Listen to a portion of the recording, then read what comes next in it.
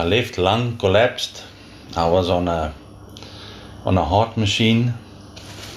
The doctor said to my wife, "You must greet him because he's not going to make it to the morning." At that stage, all the family was phoned coming down to Cape Town to come and say bye bye to me because they just said that they cannot do anything else for me and they don't know if I'm going to make it till the morning. So everybody was coming past my bed in ICU, giving me five good words, and off they go. So that's like bye bye forever. And my sister's husband, since passed away, came to me and he asked me the question that you should ask everybody in life.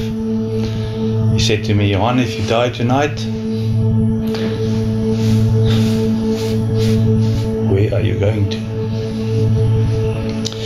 And I gave the three wrong words. I said, I don't know, which is not the right answer in life. And he says, Well, in that case, we need to pray.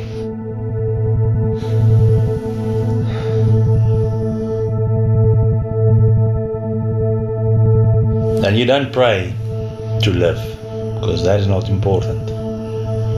Because all of us is going to die. Everybody will die. It's important where you will go when you die. So I was just asking the Lord not to take me, not for me to go to hell. That was my prayer. I saw a guy in black robes and a staff, like the devil will have, and he was waiting for me. And I had this unbelievable fear on myself. I had this fear. And when I got that fear, I prayed. Unbelievable prayer. I don't even know where I got the words from, but I prayed. I wasn't a prayer guy before, really. But every time when I pray, and I say, Praise the Lord because He's mighty. It felt like somebody took my big toe and just squeezed it like this. And I can hear the words again, repeating. What I say gets repeated. And somebody squeezed my big toe. But at the same time, I hear on my right hand side this unbelievable laughter, you know, like, like laughter from hell. I hear that. It's like hyena. You know, hyenas laugh like funny.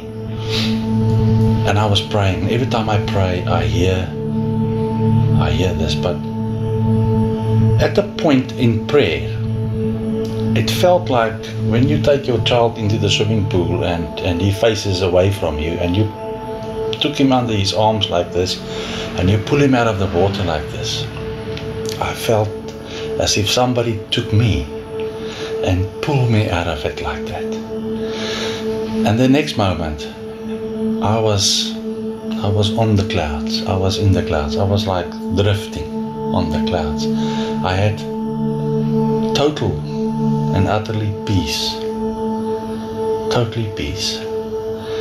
And I looked up and I saw the clouds in a tunnel like this, up like that, open.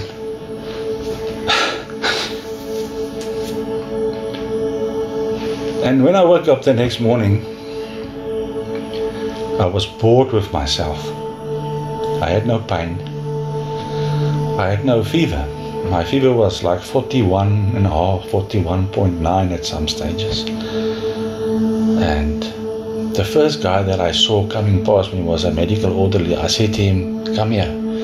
Because you see, when the Lord touches you, you cannot be quiet.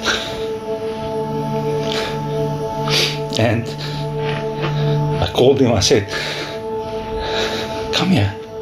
I want to tell you something. And he said to me, What? I said to him, I spoke to the Lord last night. he said to me, I know. I said, How did you know that?